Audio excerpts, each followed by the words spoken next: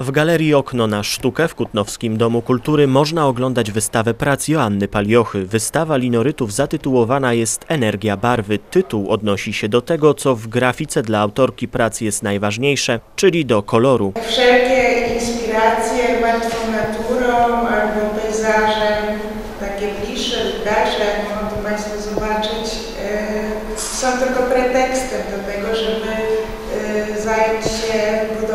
zestawień kolorystycznych.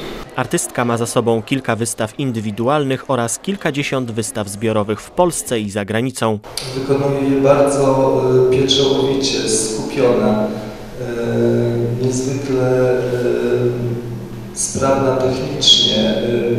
Widać to po samych drukach, gdzie kolor jest położony po mistrzowsku. Joanna Paliocha, urodzona w Łodzi, studiowała na Wydziale Grafiki i Malarstwa Akademii Sztuk Pięknych imienia Władysława Strzemińskiego. Odbyła studia podyplomowe w Wyższej Szkole Sztuk Pięknych w Dreźnie. Od 2012 roku jest asystentką w pracowni podstaw kompozycji. I żółty kolor na czarnym, tak jakby się zmieszał. Zajmuje się grafiką artystyczną, malarstwem i ilustracją książkową. Wystawę linorytów można oglądać do końca października.